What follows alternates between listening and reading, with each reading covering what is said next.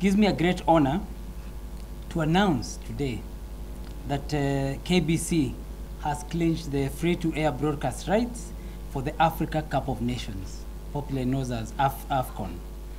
That kicks off on Friday, 21st June, um, all the way to 19th July 2019 in Cairo, Egypt.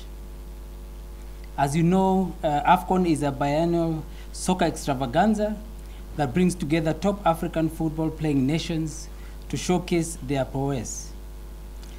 This tournament was first played in 1957 in Khartoum, Sudan, where only four teams participated. The tournament has grown by leaps and bounds and is now in the 32nd edition, which will be staged in Egypt. In this year's edition, we have an expanded field of 24 teams participating, and this includes our very own national soccer team, the Harambee Stars. As you all know, broadcast rights are expensive but worth having due to the immense benefit that it brings to Kenyans. You may have seen uh, recently, most of our news has not been as exciting, has not been as interesting, and we hope that uh, as government we're going to be able to bring something that will create uh, more excitement. The AFCON tournament is set to put Kenya on the continental map given the fact that Harambee Stars are participating in the event. And this is with the full support of His Excellency the President. The journey to acquiring the rights has been lo a long one, and uh, it has taken KBC quite some effort to make this happen, and we congratulate them for making that happen. And uh, we will look forward to continuing to support them as they work on this. KBC, as a public broadcaster, has a mandate to the Kenyan public, and there, therefore there was need to acquire the rights for the public good.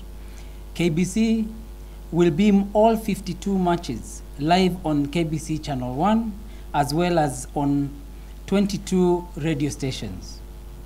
The ministry recognizes the role played by KBC as the national broadcaster in creating cohesion and encouraging Kenyans to embrace diversity by ensuring coverage of the event and advancing government communications, more so the Big Four agenda. As the parent ministry, we commit to support the turnaround strategies that are being put in place to transform KBC into a modern public broadcaster.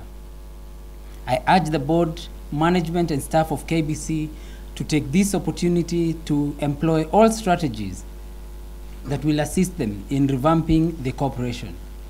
So as I conclude, I assure the national and county government institutions and organizations, both local and international, value for money in advertising their products on KBC, a consistent brand in promoting sportsmanship.